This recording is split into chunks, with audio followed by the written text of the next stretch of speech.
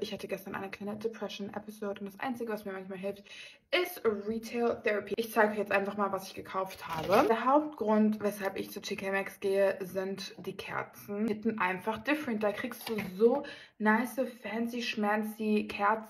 Die hier hat jetzt leider den Deckel nicht mehr, fällt mir gerade auf, aber egal. Guck, da ist der Deckel drauf. Digga, wer klaut denn einfach einen Deckel? Verstehe ich nicht. Fresh Linen, so wie frische Bettwäsche und ich schwöre es euch, Leute, die riecht auch genauso. Habe ich mir noch eine Kerze geholt und zwar Kokosnuss und Lavendel, meine zwei Lieblingsdüfte. Die werde ich auf jeden Fall ins Schlafzimmer stellen. Dann habe ich noch eine Kerze geholt. Also ich liebe Kerzen über alles. Das hier ist eine Brûlée-Kerze. Ich dachte mir erst so, ist mir zu krass, aber dann dachte ich mir so, ganz ehrlich. Als nächstes habe ich das hier geholt und zwar ist das einfach für so eine To-Do-Liste, die wir einfach immer brauchen. Holt mich jetzt ehrlich gesagt nicht so ab, aber es ging mir da eher so darum, dass es praktisch ist. Dann, oh mein Gott, guckt euch das bitte an. Ich stelle mir einfach Ocean da in ein paar Jahren drin vor. Zum kleinen Nee, das kann ich nicht aushalten.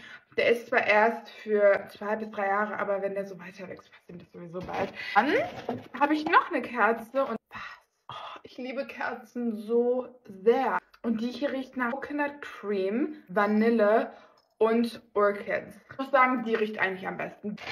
Das war's auch schon. Dann einfach ein... yeah, wünsche ich dir auch nicht, Mama mehr Kerzen.